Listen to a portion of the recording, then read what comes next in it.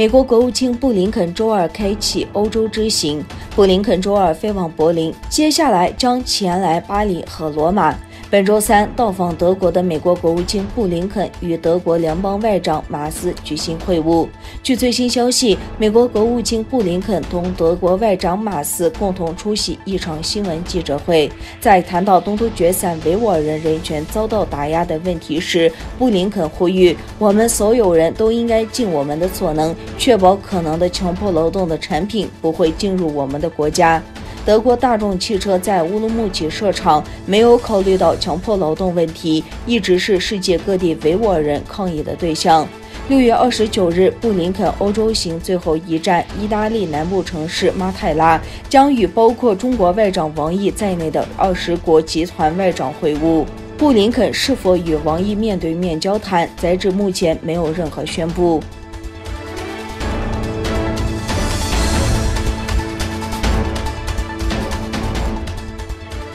六月二十三日是国际奥林匹克日，世界各地的维吾尔团体举行抗议活动，以呼吁抵制即将在北京举行的二零二二年冬季奥运会。东突厥散体育与发展协会和世界维吾尔代表大会基金会联合举办，在伊斯坦布尔奥委会面前举行联合示威，发表了一份关于抵制北京冬奥会的声明。维吾尔学院院长巴哈提博士在活动发表的讲话中强调，已有七国承认中国在东突决散的犯罪活动为种族灭绝，致使中国举办冬奥会等同于支持犯罪，国际社会应该抵制北京冬奥会。与此同时，维吾尔人、藏人、蒙古人、香港人等多个国际人权组织在瑞士洛桑国际奥委会总部前举行了反对2022年北京冬奥会的大规模抗议活动。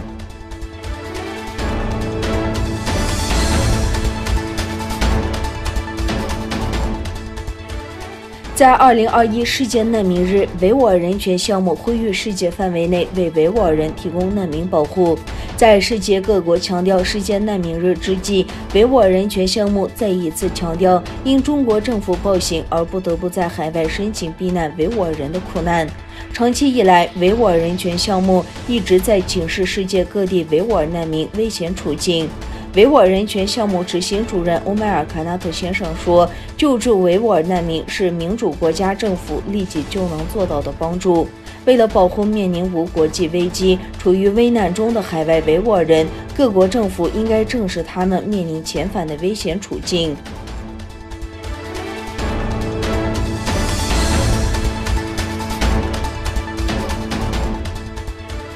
追随新冠病毒的起源再次成为美国国会的热点话题之一。参议员共和党人本周推出的一项新法案，要求中国配合国际社会，对新冠病毒大流行疫情的起源进行透明且全面的调查，否则将制裁中国科学院及其关联机构。一贯支持反华立场的共和党联邦参议员鲁比欧，二十一日推出名为《二零二一年新冠病毒法》的法案。要求中国配合国际社会对新冠病毒起源问题的调查工作。同时，共和党参议员麦克加利格周二介绍了2021年新冠病毒来源调查法案。根据法案内容，如果中国不允许国际社会对新冠病毒起源进行所谓的可信和全面的调查，法案将授权美国政府在立法生效九十天后对中国有关机构和实验室施加制裁和其他限制。法案中的制裁对象，法案中的制裁对象以中国科学院为主，包括与中科院有关的一百多家科研院所和实验室、十三个地方分院以及两所大学。